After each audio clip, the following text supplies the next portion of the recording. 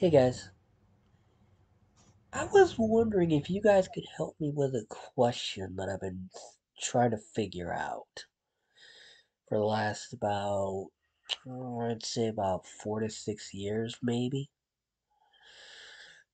Why is it? Anyway, hang on, let me get get uh, get my notes here. Why do why do certain games need to be need to have you connected to their to the service, be it Xbox Live, PlayStation Network, or Nintendo Switch Online? when there's no multiplayer mode whatsoever. Yeah. When there's no multi when no multiplayer mode exists. Do you guys have any ideas? Cuz if you do, I'd I'd love to hear I'd love to hear your opinion on this because guys, I don't have a clue as to why that is. I don't know.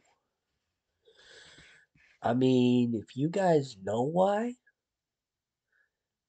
just, you know, let me know because guys, frankly, I don't have a clue.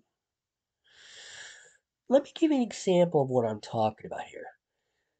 Does any has anybody played Bleach Brave Souls on the PlayStation 4? If you have, good. Then you're gonna kind of know what I'm talking about here.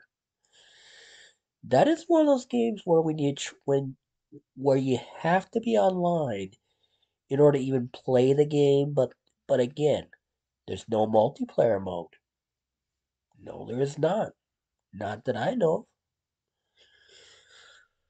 And why you always have to be online? Beats the heck out of me.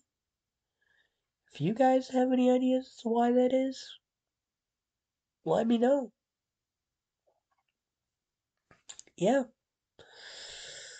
cause I'm I'm completely stumped as to why that is. I mean, there's no lot. Again, there's no lot. Again, there's no reason. Again, single player mode exists. Multiplayer mode nowhere to be found.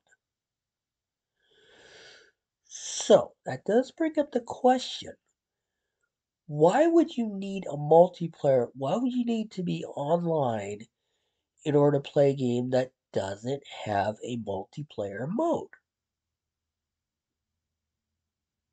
I'm just asking, guys, that's all. That's all I'm doing. It's just asking. That's all.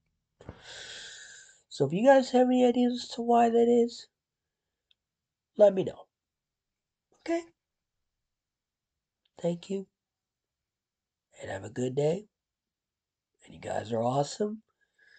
You guys make this worth it. And guys,